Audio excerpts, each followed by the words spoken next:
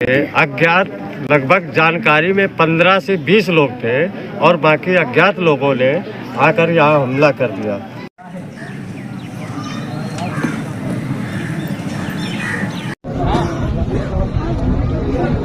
रविदास जी की मूर्ति तोड़ दी गई, एक साउंड एक साउंड मशीन हमारी उठा ले गए। दोस्तों, ये वीडियो आपने देखा, ये खबर है उत्तर प्रदेश से, जहाँ राम राज्य है, जहाँ योगी जी की सरकार है ये खबर है उत्तर प्रदेश के कानपुर से।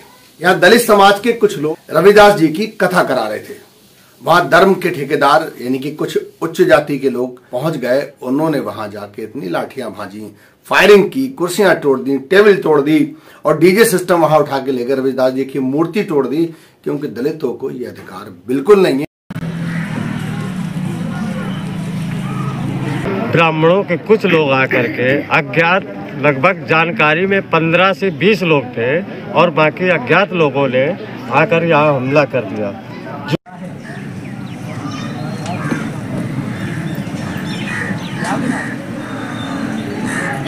तो इन्होंने फायरिंग किया और फायरिंग करने के बाद में यहाँ पे गोली चलाई कम से कम चार राउंड, चार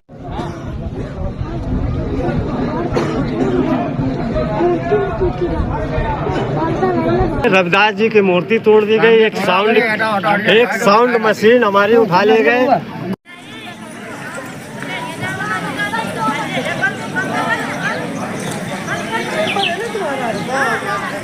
कुछ हम लोग कैश रखते हैं, नगद, और एक संविधान की किताब थी लगभग तीन हज़ार की, वो किताब उठा कर ले गए। ये उस घटना का वीडियो है। तथा कथित धर्म के जो ठेकेदार बने फिरते हैं, उन्हें ये लगता है कि ये सारा काम जो है, जो कर्मकांड है, यानी कि जन्म से लेके मृत्यु तक, शादी, ब्याह, खुशी, गम, ये सारे हमारे कार्य थे, ये कैसे कर सकते हैं? इन्हें किसने अधिकार दिया? इनका काम सिर्फ़ मैला उठाना है।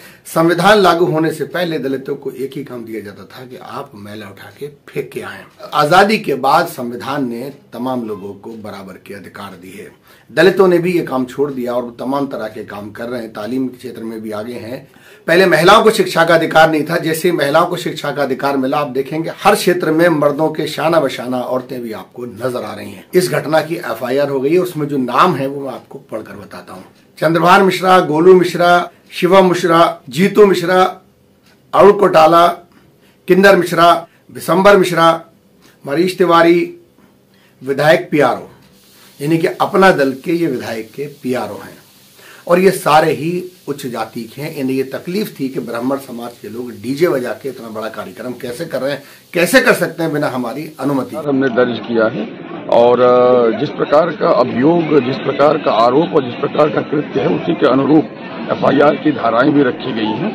अब तक पाँच लोगों की गिरफ्तारी हो गई है। यहाँ पर सुरक्षा के सारे इंतज़ाम किए गए हैं।